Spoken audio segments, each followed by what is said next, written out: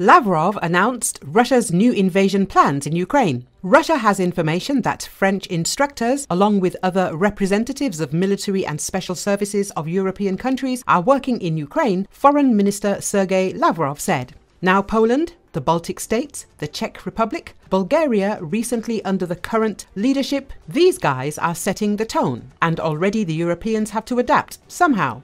Take French President Emmanuel Macron with his nervous statements about sending French soldiers to Ukraine. Then someone explains that he was misunderstood, and he himself says again, No, I was understood correctly. He said in an interview with the radio station Sputnik, Govorit Moskva Komsomolskaya Pravda.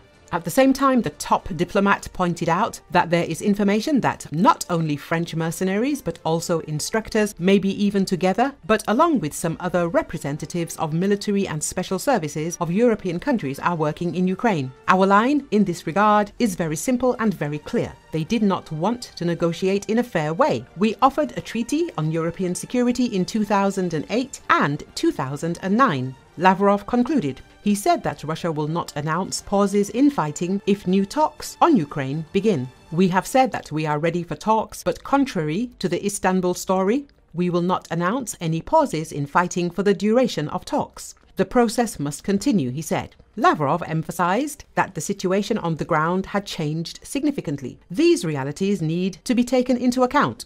When I say realities, I mean not only the line of engagement and military positions, but also the amendments to our constitution that concern our four new regions, which are our primordial lands. This should be clear to everyone, he added. It's perfectly clear that they don't understand it, nor are they prepared to search for any potential compromises. It's only the Zelensky formula for them with no alternatives, Lavrov concluded. Answering a question from journalists regarding Kharkov, Lavrov said that this city would play an important role in the creation of a demilitarized zone, which the Russian president had previously spoken about. To the next question about what needs to be done if the armed forces of Ukraine start shelling Kharkov, the head of the foreign ministry said that the special operation will need to be continued further. Thus, we can conclude that ours are not going to stop at the liberation of four Russian regions.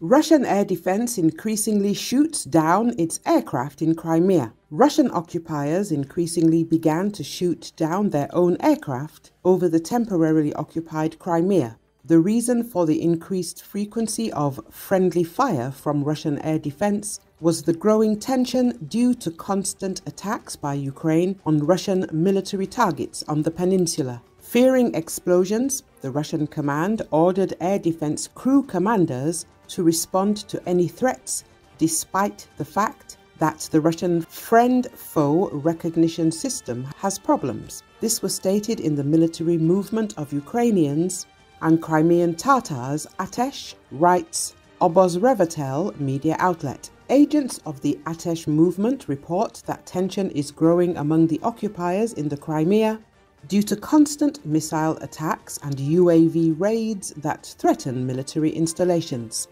The top military leadership ordered air defense crew commanders to shoot down threats, despite problems with the friend or foe target detection and recognition system. However, faced with constant missile attacks and UAV raids, commanders of air defense crews are forced to carry out target designation virtually in manual mode. Thanks to this, Strikes often occur against their own air targets, the report noted. Thus, the 12th Anti-Aircraft Missile Regiment of the 31st Air Defense Division of the Russian Federation especially distinguished itself in this direction. Over the past few weeks, it shot down two military aircraft of the Russian occupiers. Recent Ukrainian strikes have increased pressure on Russian air defense systems and may be leading to Russian forces shooting down their own planes, the UK Ministry of Defense said earlier.